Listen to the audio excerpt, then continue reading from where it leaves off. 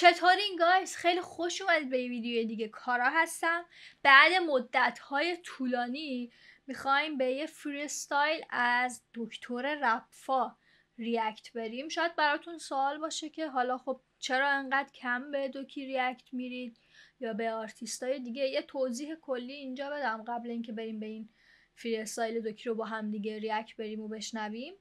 به خاطر اینکه بچه مثلا ما که قبلا کار react حالا بیشتر می‌کردیم حالا الان کمتر شده. خیلی از آرت با خیلی از آرتیستا و manager اشون ما آشنا شدیم. با خود آرتیستا صحبت کردیم با manager اشون صحبت کردیم. این قصه کپی رایت حل می‌شد چون اکثرا آرتیستا برای channel ایی که reaction میرن کپی رایت رو برمیدارن. خیلی آرتیستای محدودی مثل سروش هیچکس بهرام یا علی سورنا تا اینجایی که آره خیلی از آرتیست محدود کلا جواب نمیدن و کپی رایتشون کپی رایت سنگینیه. ولی بقیه آرتیستا تا اونجایی که ما ازشون react رفتیم همیشه این مشکل کپی رایت رو حل می‌کردن. اگر هم نمی‌شد خب با جای قرارداد داشتن که این کپی رایت رو بر نمی داشتن خب می‌گفتن و تو تصمیم می‌گرفتی که بری یا نری. متاسفانه کلا حالا کسی که مسئولیت کارهای دوکیو بر عهده داره که حالا تو مدیا پخشش کنه و مسئولیت کپی رایتش رو بر عهده داره کلا اصلا پاسخگو نیست. یعنی هر چقدر که تلاش می‌کنی بهش پیام بدی اصلا پاسخگو نیست. ما خودمون با خیلی از آرتیست ها با خودشون شخصا صحبت کردیم و کلا مشکل کپی رایت رو برای channel مون حل کردیم ولی خب دوکی که خودش پاسخگو نیست و اون کسی هم که مسئوله واسه کپی رایت اصلا پاسخگو نیست. یعنی به هر طریقی که ما بهش پیام دادیم.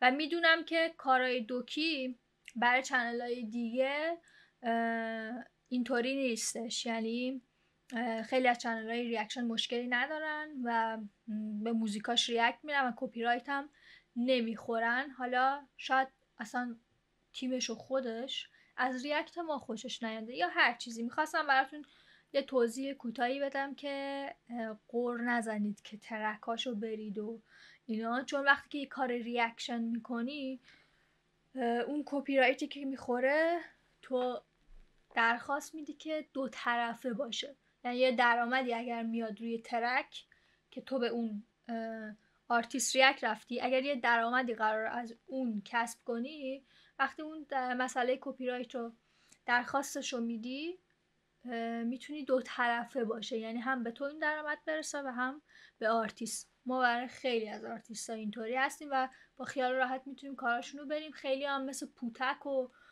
مثل بچه های وانتونز کوری و اینا که بهزاد لیتو و اینا که اصلا کپی رایت ندارن.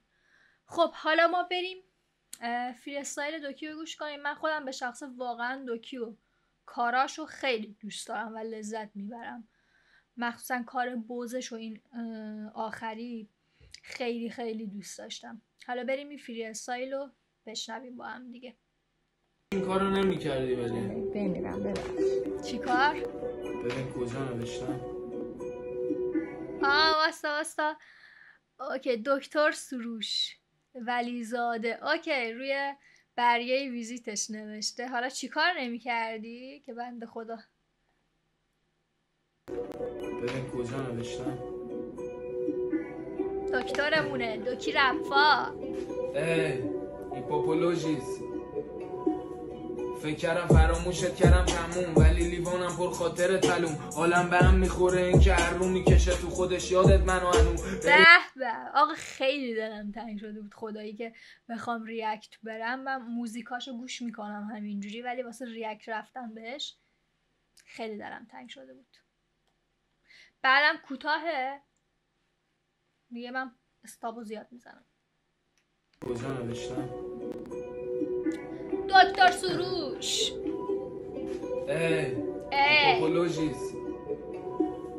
فکر کردم فراموشت کردم تموم ولی لیوانم پر خاطر تلوم. حالم به هم می‌خوره این که هر رو می‌کشه تو خودش یادت منو هنو بریم یه رو میده گلامو شکوفه نیای به دوتامو می‌زنم گلوله میریم و میمونه. قرصامو تو خونه بهونه از حرفای دوتامون دروغه. دکتر جان انقدر خشن نباش. ظاهر تو که خشن می‌کنی یه سره. با این تیپ و استایلی که داره از نظر من خیلی خشنه دیگه. بری به دوتامون می‌زنم. گلوله چه خبرته داداشم؟ آرومتر.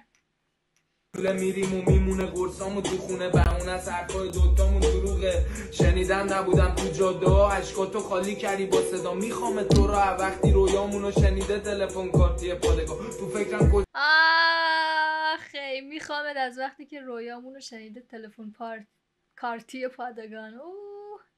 یعنی از زمانی که سربازی می‌رفته. دوتامون دروغه. شنیدن نبودم تو جاده ها. عشقاتو خالی کردی با صدا. می‌خوام تو را وقتی رویامونو شنیده تلفن کارتی پادگاه تو فکرم کجا می‌رفتیم با هم؟ گل من روشن پر لیوانم. اکثر شبا تا دو سه بیدارم. هرچی میگی حس دو دلی دارم. هرچی میگی حس دو دلی دارم. ببین صداش خاصه. سبکش خاصه. کلا لیریکساش من خیلی دوست دارم. کلا فلوش و همه چیشو واقعا دوست دارم. دوکیمون دوکی رفامون تکه. سر شبا تا دو سه بیدارم. هرچی میگی حس دو دلی دارم. آخر ماجرا تو دل جاده مجا میشوره. اسم تو رو ماسا. نباشم کی بگه فیریک سایا اسممونو میارن تو افسانه ها. همونم که میمردی با صداش. همه روزا تو شب می‌کردی با شراش یه شبمون یه سال عاشقاست. می‌زدیم قیده اما اگه چاره داشت. ولی چقدر قشنگ. یه شبمون یک سال عاشقاست. خیلی قشنگه. بگه فیریک سایا اسممونو میارن تو افسانه ها. همونم که میمردی با صداش همه روزا تو شب می‌کردی با شراش یه شبمون یه سال عاشقاست می‌زدیم قیده اما اگه چاره داشت. آقا تو رابطه با آرتیست بودن به نظر من سخته. از یه جهت خوبه. خب حالا کنار یک آرتیستی می‌تونه تو خیلی چیزا بهت کمک کنه. اگه خودت دوست داشته باشی می‌تونه تو این راه بهت کمک کنه. ولی از یه جهت سختیش هم اینه که نگاه ها رو هر چقدر رو آرتیست هست رو تو هم هست و مثلا beef ی چیزی میشه رو تو هم می‌گیرن بدون دلیل. مخصوصا بیفی که بین دوکی و پوری شد که روی بند خدا دوست دخترش می‌گرفتن خیلی بد بود.